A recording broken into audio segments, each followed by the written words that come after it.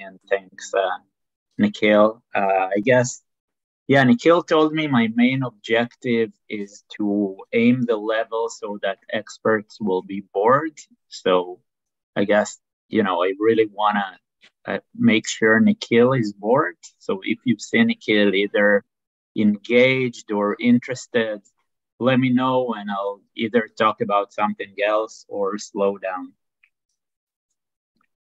Okay, so we are uh, talking about stochastic methods in our pathwise analysis in the Boolean hypercube. What I'll do is mainly just kind of introduce a few tools and basic things. I'll prove a, a few theorems using stochastic methods. I won't prove a lot of new theorems. Maybe we'll have time to, to prove just one new theorem. Uh, most of the things I'll prove actually have different proofs by proofs by more classical techniques, but the aim here is, you know, just to learn the technique rather than to, you know, learn how to prove new theorems. Uh, just to make sure, you, um, can you say something? I just want to know that I can hear you if someone is not following. So I think uh, we have to use the mic to for you. I to see, hear. I see, I see, I see. So I don't know. Try to stop me if someone has a question. Okay, I, I want to take it slow and I want to make sure everyone is following. Okay, so let's start with a with the proof of the Poincare inequality which I guess you all know. This proof is going to be a bit of an overkill in terms of tools, but I think, but it's going to lead us to being able to prove more sophisticated things.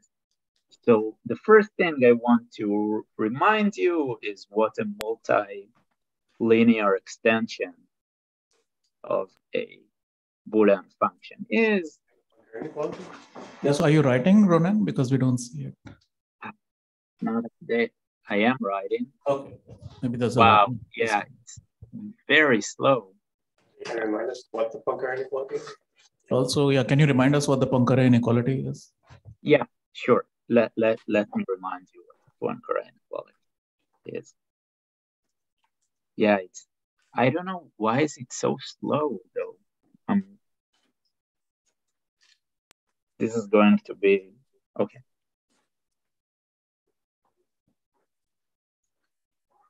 Hopefully it's going to improve. So the Poincare inequality says the following thing. Uh, if I have a Boolean function, I can define the i influence of f. So for f, Boolean function, let's say from, no, listen, I think I'll, I'll try to reconnect with my iPad, right? What do you say, Nikhil? It's it's like really annoying, and it usually works fine. Sure, yeah, this is slow, so we could try again, yeah, if there's a different device. Yeah, sorry about that. I have no idea why this is happening. I did this so many times and it always works fine. Yeah. Uh, you know what? I think maybe it improved. Okay, let's let's do one last attempt. Like, can you see me highlighting the word Yes. inequality Yeah. now? Mhm, Yeah, we Yeah. do. Okay. Okay. So if I have a Boolean function, uh, or let's say two zero one, I can we denote the ith influence of f by simply the expectation over the uniform measure that uh, of the of del i of f, where the ith discrete derivative of f at x is equal to, you know, uh, f at x, where I set the i coordinate to be 1 minus f at x, where I set the ith coordinate to be 1. So Ronen, there is a lag. Um, is it also on your end or? Um, I let let let me just reconnect because it's going to be Yeah. right. Okay, sorry about that, guys.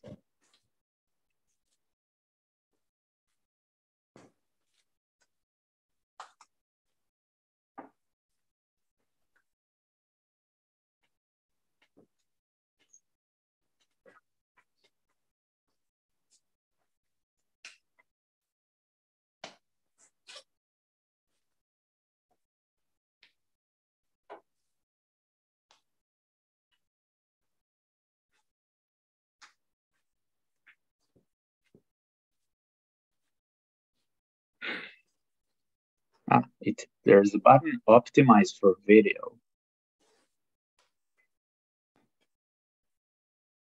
Okay, now I see there is no lag, but the quality is very crappy, right?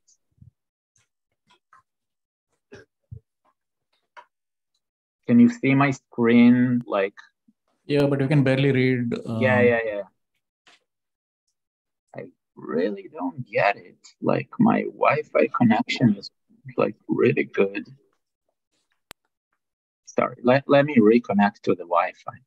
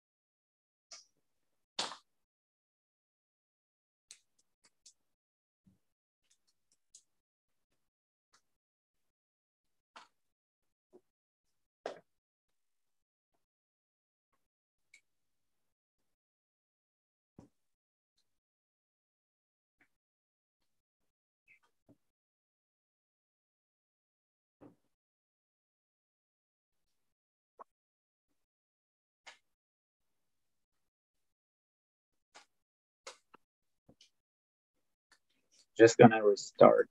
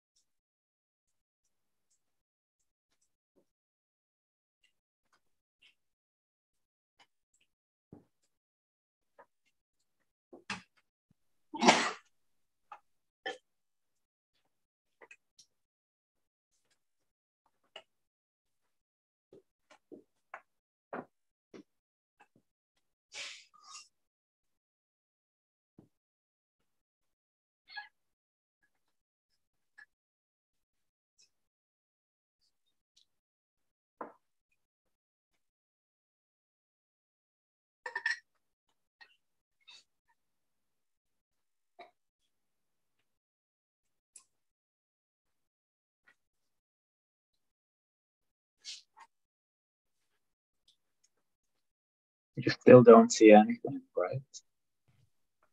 No. Still, still the blurry. Oh yeah. Yeah. Better. Not perfect, but still. Yeah, not perfect, but I think we'll have to go with this. Uh, Yeah. I think it's legible. Yeah. Yeah. Um, You- but is there a you- delay or can you? I, I think there is no delay now. Uh, Yeah, this looks better. Yeah. Great. Uh, yeah, really not perfect. You know what? Maybe. But this is good. Yeah. This. Yeah, it's good. Okay. Yeah, sorry. I have no idea why this is happening. Okay. So if I define the influences like this, which is just you know, the probability that toggling the ith coordinate is going to toggle the value of the function f, the Poincare inequality, which is probably the most basic inequality uh, or the most basic concentration inequality on the hypercube, states that the variance of f is bounded by the sum over i of i i of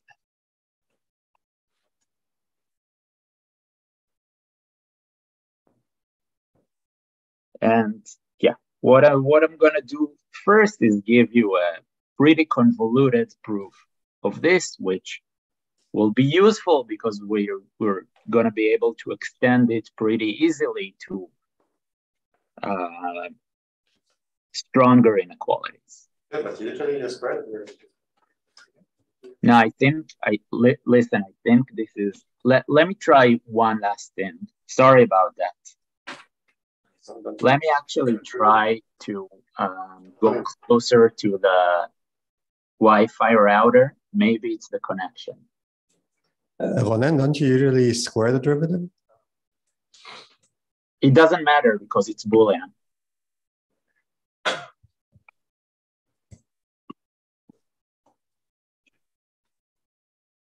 Right? The square of like plus minus one is Yep. Equal to the absolute value. Sorry. Uh, let me try to get closer to the router. Maybe that's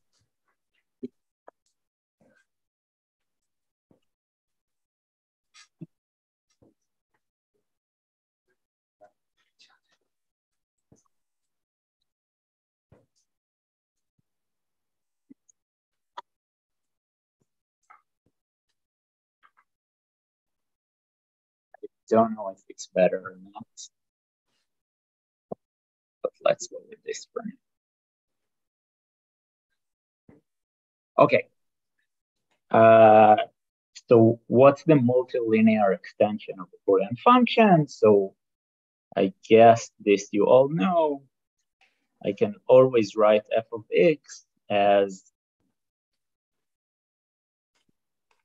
the Fourier decomposition, so the sum over all subsets of the nth coordinates of the n coordinates of some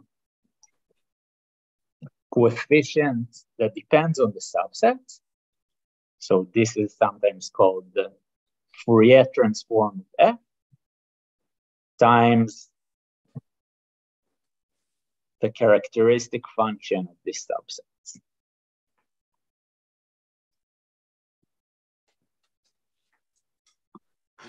Right? Now, we're, we're actually not going to care at all about the values of those coefficients. The only thing we care about is that there exists such a representation, which identifies with f on, you know, the discrete hypercube, but we're going to use it outside of the discrete hypercube. So this is actually defined for all x in Rn, and in particular for all x in the convex hull of the discrete hypercube. Right? And it has a very, and like by definition, it's multilinear. And since it's multilinear, it's also a harmonic function,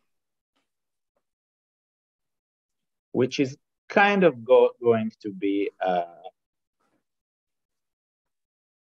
what's going on. Uh,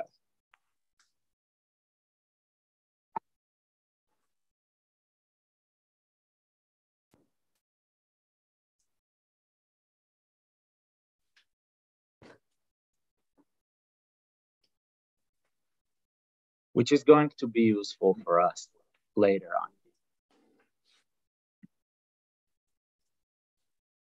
Next, I want to define uh, the following thing. I want to define a stochastic process Yeah. x0. What's a harmonic function, Ronen? Ah, the harmonic function is a function whose uh, Laplacian is zero. So um, second derivatives. Yeah. Exactly. So now it's going to be continuous and not discrete derivative. So for all x, if I look at, you know, the sum over all i of del uh,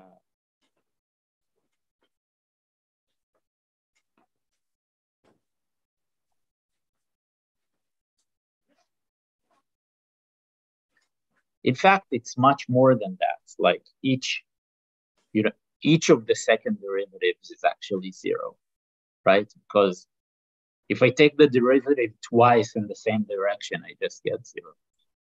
But we're just going to use, in a sense, the harmonicity. Okay, now let's define uh, the following stochastic process, x0, x1, up to xn.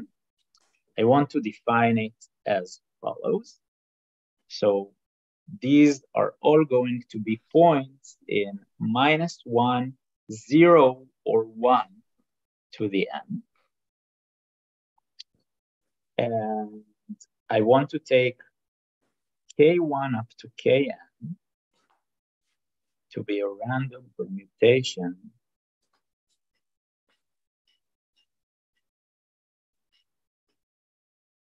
of the numbers 1 to n. And that and epsilon 1 up to or up to epsilon n to be uh, Bernoulli uh, plus minus ones. I choose plus or minus one with probability half, IID. And then I want to define xi minus xi minus 1 to be epsilon i times the standard basis vector ki. So just, you know, e1 up to en is a standard basis.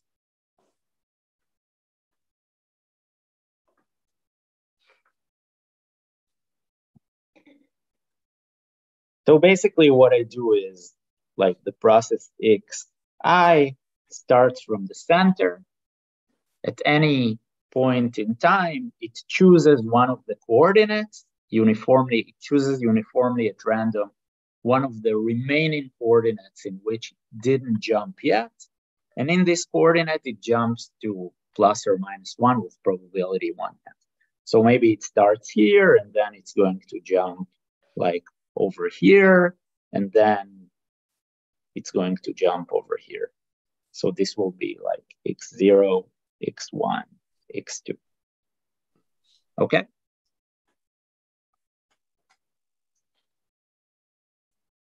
So, you know, clearly um, xn is going to be uniform in the discrete hypercube,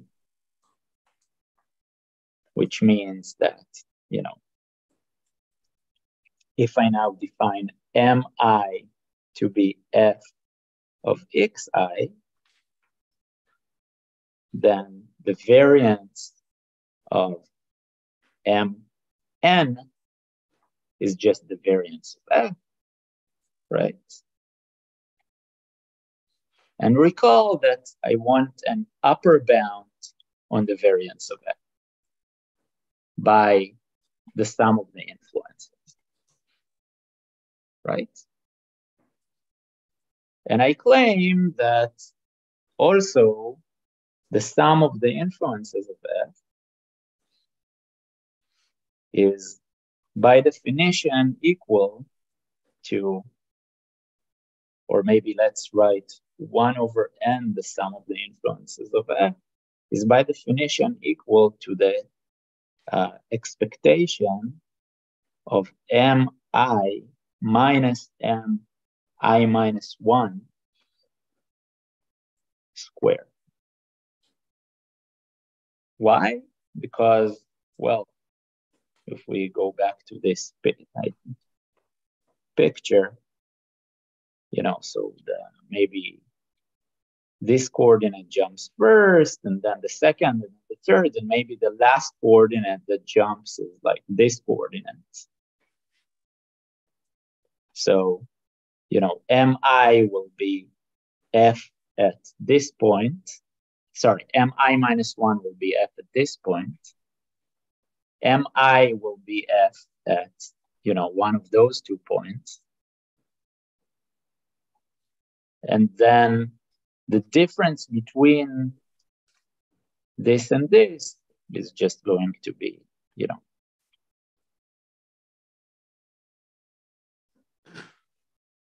what's written in the brackets is basically like, uh, sorry, okay, I guess there's a factor two that I'm missing, but this is basically, uh, you know, the gradient, the partial derivative in the k i direction of f at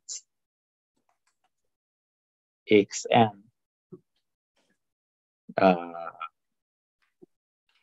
squared.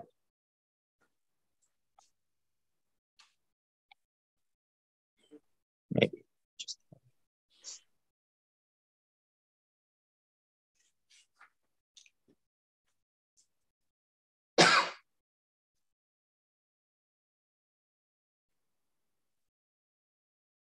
which is, you know, equal to the influence of the ki coordinate.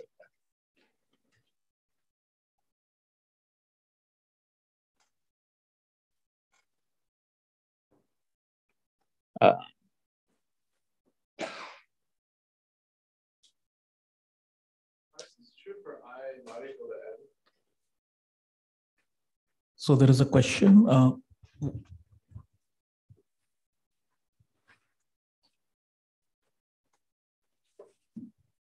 So why is this true when i is not equal to n when some of the coordinates might be zero? Sorry? Why is this true when i is not equal to n when some of the coordinates might be zero? Ah, sorry, sorry, sorry. Yeah, yeah, yeah. I'm sorry about that. I'm this should be an n. My bad. Oh, okay. Yeah, yeah, of course, of course this is and this is and this is n, and this is n. Sorry, sure. Okay, I'm glad someone is uh, following. Yeah, it's it's just the last one, right? It's we basically reveal coordinate by coordinate, and the jump that we have in this process mi with respect to the last coordinate that we reveal that's just like equal to you know the influence of the last coordinate and if we take expectation it's just you know the expectation over all the influences right? Now an easy fact that's going to be useful for us is that the process mi is a martingale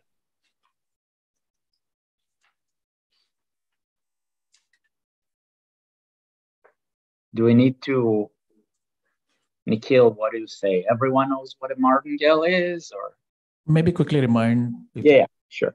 So that just means that the expectation of mi, given all the past, so the past here is x0 up to xi minus 1, is equal to you know, so um, so so I claim that in the end it's going to be equal to uh, m i minus one. And what's the reason for this? Um, you know, this is just So it's equal to the expectation of mi given x naught up to x i minus 1 and also ki. So suppose I al already know in which coordinate I'm going to jump in the i step.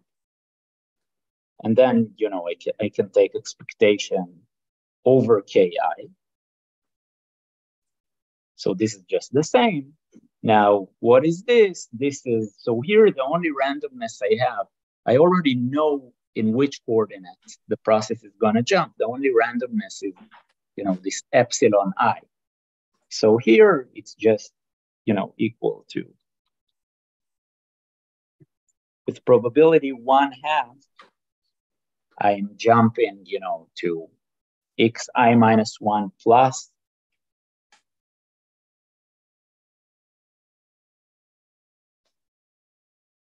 plus e um, i, sorry, ki. And with probability one half,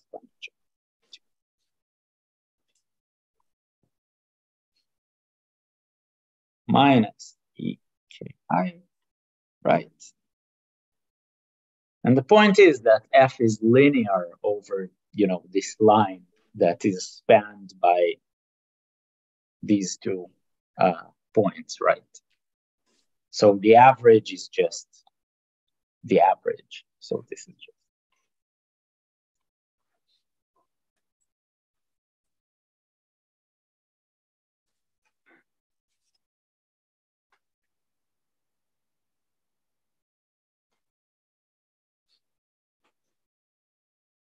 right? So this is the martingale, and for martingales, we have a pretty nice property saying the following thing. So for any martingale, so for, for any process, mi such that the expectation of mi uh, given, you know, everything that happened until uh, maybe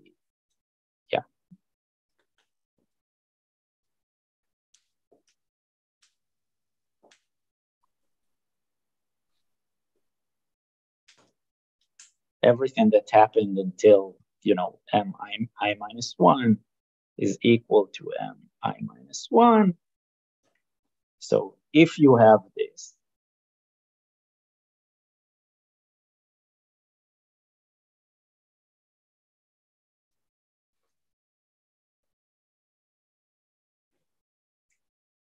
then the variance of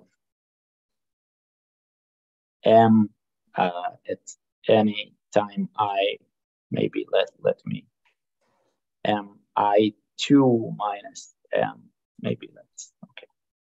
Don't want to burden you with notation. Mj minus mi is equal to the expectation of the sum of all uh, t between i and j of m t minus m t minus 1 squared.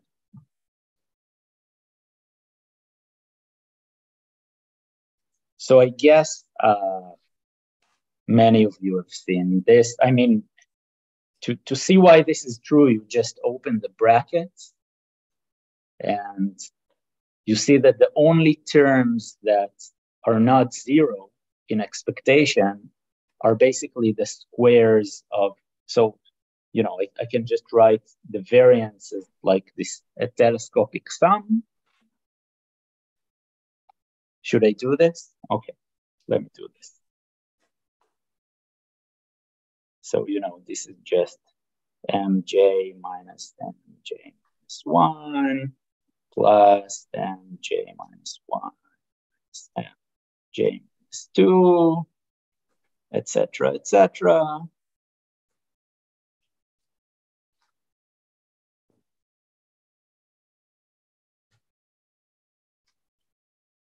the square of this, if I, you know, just open the brackets, I get a bunch of terms that, you know, I, I get the squares of like these terms, which are exactly these terms, but also I get, you know, for example, this term times this term in expectation is just zero. Because you know the expectation of mj given every all of this is just mj minus one right? So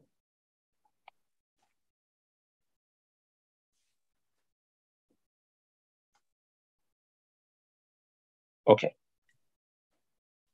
So you know this is a very simple fact but it's going to be very useful for us. So given so given this, I know that the variance of L, which is the variance of Mn, is equal to, you know, the expected sum i between 1 and n of mi minus mi minus 1 squared right? And note that here already, so if we look at this sum, the last summand in this sum is basically uh, what we had uh, here, right?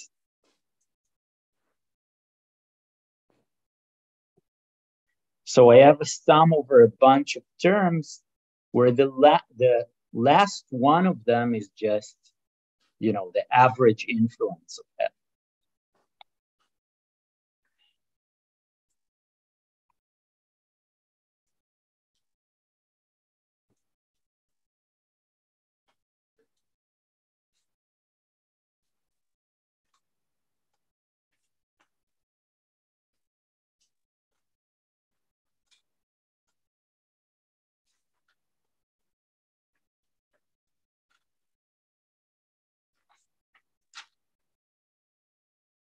Okay. So all we all we want to do, we want to say now is that you know the that this sum so what we want to show is that this sum is less or equal than the same than basically n times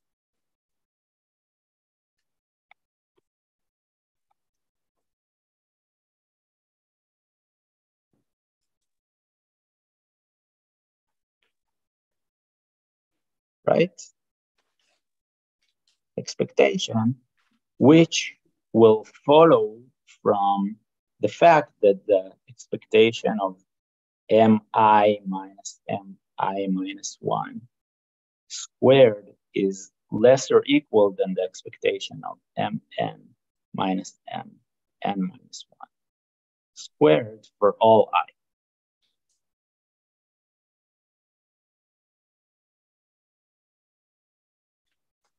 So in a sense, you know, you, you can think about so so those differences are increasing in expectation. You know, I have so I have this process that starts here and first, you know, I reveal the first coordinate and then the second and the third. And every time I reveal a coordinate, I get some information about where what the final value of f will be, right? First time here, I have like f of zero, which is just the expectation of f over the entire discrete hypercube. And then I reveal the first bit. So, you know, maybe I'll have, I have f here, you know, this is going to be f of x1.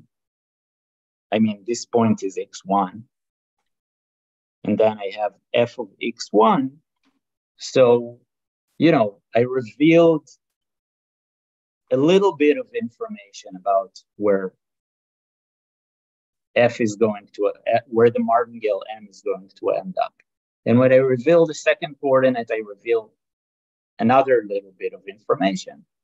And the point of this inequality is that the amount of information that is revealed in every step is increasing. Like the last step is telling you more than the first step. Does that make sense? Hopefully. Okay, so let's let's try to prove this inequality. So by definition, mi minus mi minus 1 is equal to the gradient of f. Uh,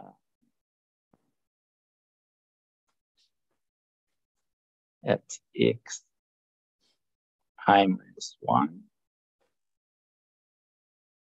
or maybe let me write it like that. Partial ki fxi minus 1 of fxi minus 1 times epsilon i, right? By definition, like I was here and then I moved either here or here. So, you know, the difference is determined by the gradient of f at this point times, you know, my offset.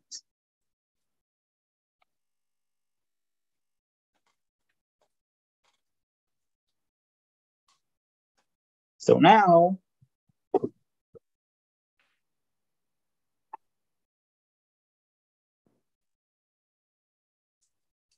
another easy fact that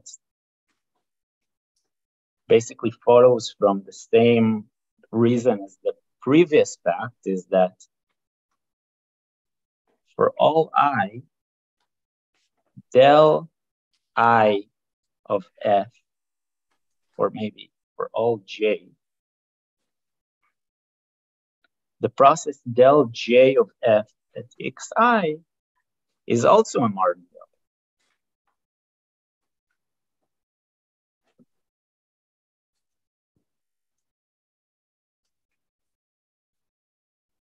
And the reason is exactly the same reason. If I look at del j of f, that's also a multilinear function.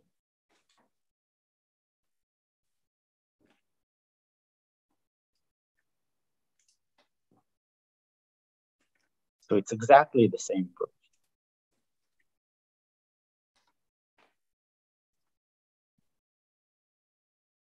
Right?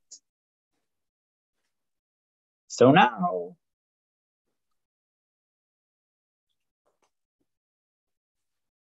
all we have to write is the following thing. So the expectation of mi minus mi minus 1 squared, this is equal to um, the expectation of, maybe let's uh, do it.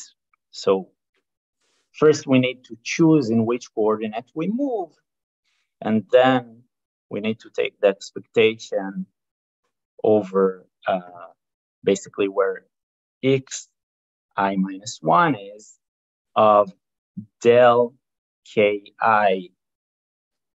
f x i minus 1 uh, squared,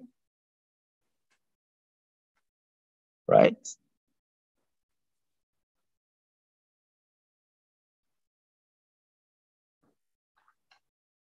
Now let's uh, give this, okay, actually, no, let's, let's do this. So this, I claim that this is less or equal than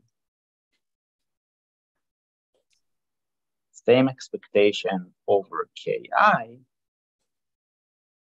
and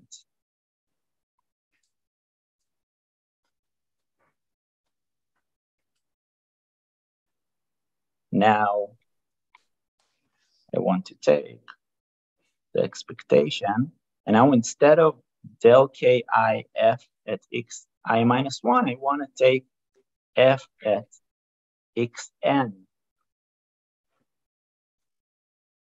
squared.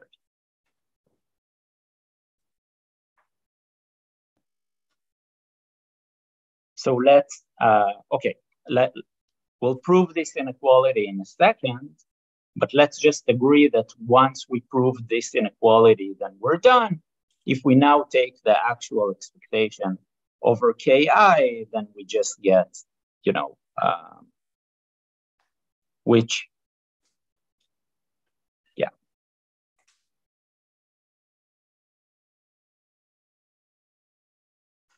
So, you know, ki is just uniform. So what I get is just the sum over i, or maybe let, let me call it k of the expectation of del k at xn squared 1 over n, which is equal to the sum of influences.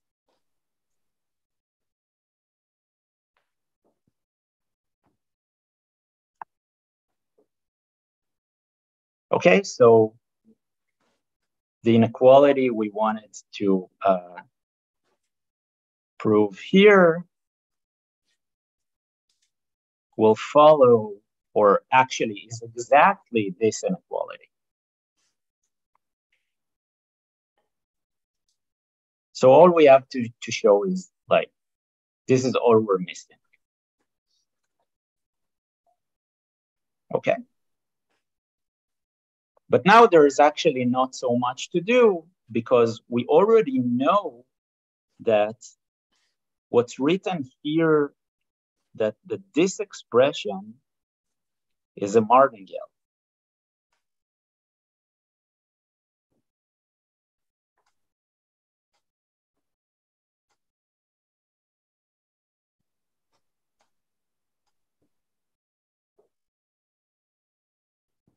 So well, it's a martingale with respect to, so, so maybe in order to not confuse you, let's uh, denote by N, I, and T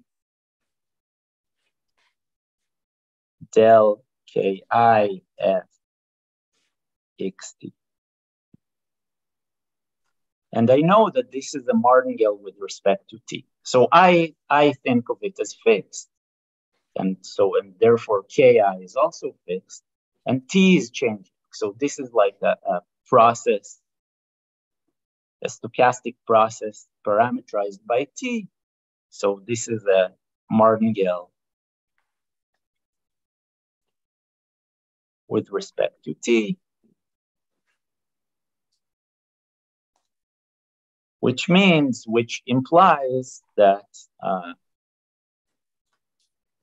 the expectation of NIT squared is increasing by Jensen.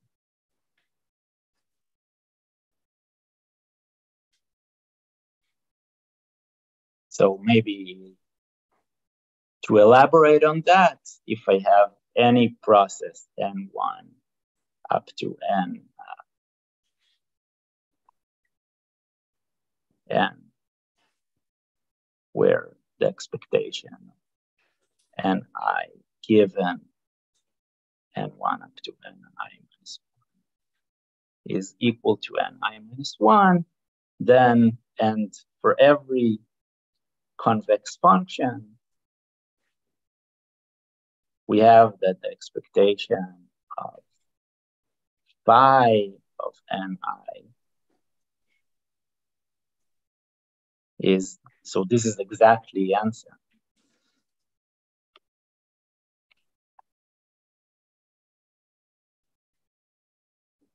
Given all these values is bigger or equal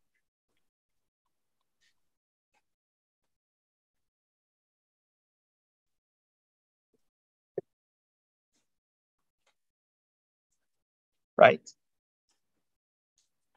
Okay, so as you can see, it took me a long time to prove the Poincare inequality, and I think I uh, maybe even like confused you a little bit in the middle, but does anyone have any questions so far? Okay, good. So, so now let me uh, step back for a second and I want to talk about different ways to sample a single random bit.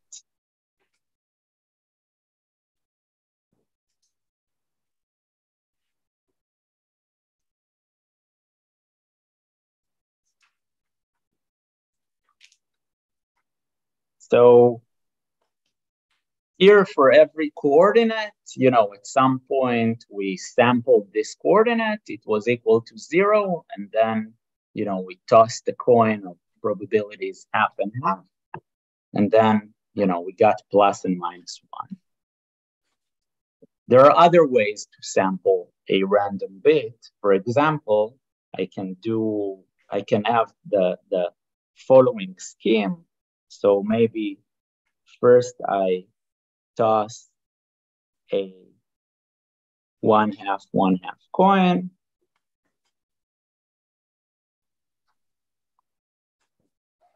If I get uh, heads, I toss a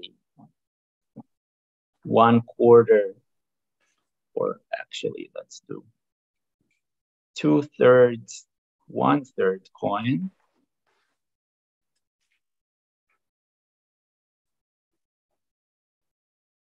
If I get heads again, my sampled bit is one, and if I get tails,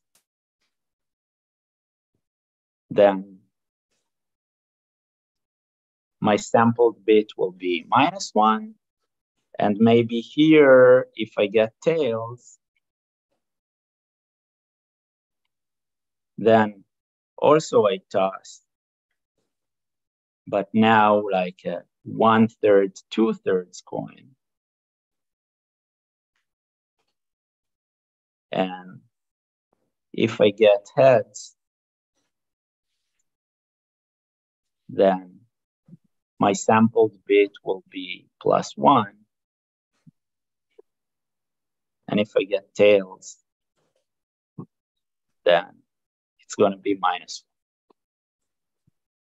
So do you agree that like it's still a 50-50 probability to get plus or minus one, right? But instead of just doing, you know, one sample of a bit, in a sense, I sampled something which is like less than a full bit. When I know, when I tell you the result of this coin, it gives you some information on what the final result is likely to be, right? If I get heads, it's going to be more likely to be heads than tails. But, you know, I still need to toss another coin in order to know, like, what the final bit is going to be. And, you know, we can come up with infinitely many schemes like that, like infinitely ma- many algorithms that are going to sample eventually random bit. And I claim that every such scheme, so this is an example of a scheme, but every such scheme has a one to one correspondence to some martingale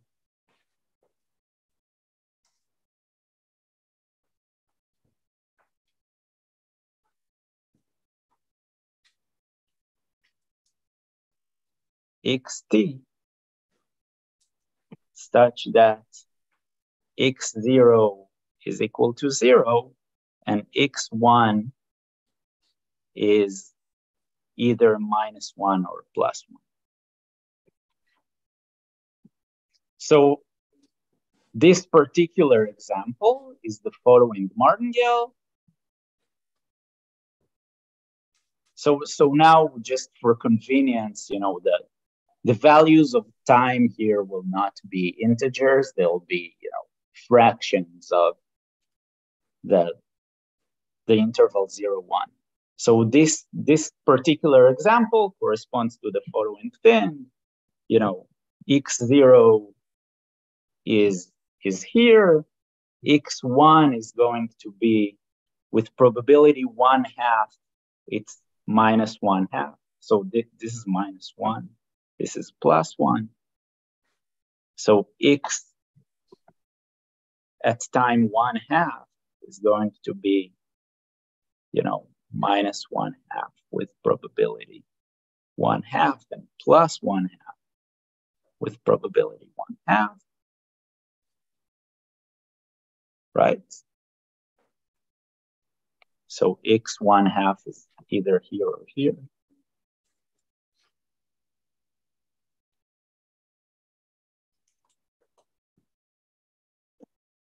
And then, you know, x1 is, is going to be sampled in the unique way so that this is the martingale. So, you know, if I was here, since this interval is three times longer than this interval,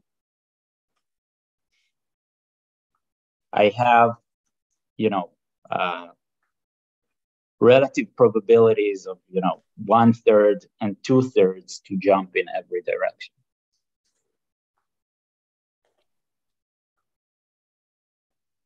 Questions about this?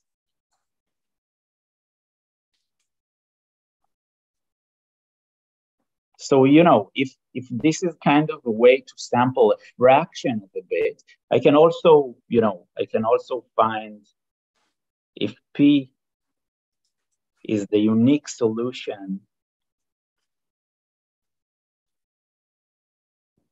to 1 plus P over 2 log Okay. 1 plus So Ronen, a question: Should it be like one fourth and three fourth instead of one third and two third, or Uh, or wow. Yeah. Sorry. I slept very badly tonight, but yes, it should be fourth. Yeah, that that was completely dumb. Sorry about that. But you know, I'm very glad you are following.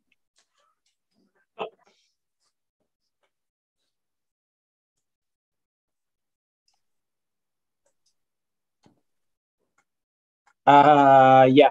So if P is the unique solution to this equation, so this is, you know, the point where the entropy I have left is exactly one half of the entire entropy that we have in sampling one bit, then, you know, ideologically, I can, you know, I can just set x one half is equal to, okay, I guess p is the bad, bad notation. Let's call it q.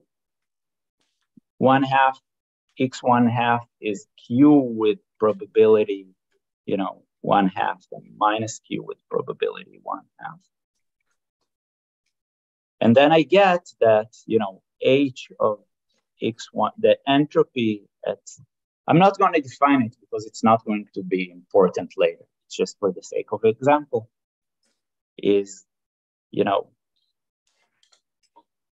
is equal to one half the entropy of x1, meaning that, you know, I just, instead of sampling an entire bit in terms of entropy, I sample half a bit and then I sample the other half that's left. And we can also do it infinitesimal, right? So another way to sample, which will be uh, which is the main way we're going to focus on la later on. So actually two more ways,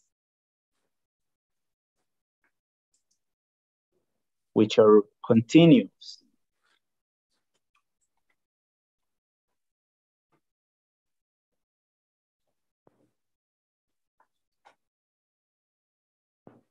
So the first one. Should we take a break or you want Yeah, to yeah. Ju- I, I'm just going to write two more lines and then we can take a break. Sounds good. Thanks. Okay. So the first one I can, we're going to show that there exists a process xt such that first of all xt is a martingale.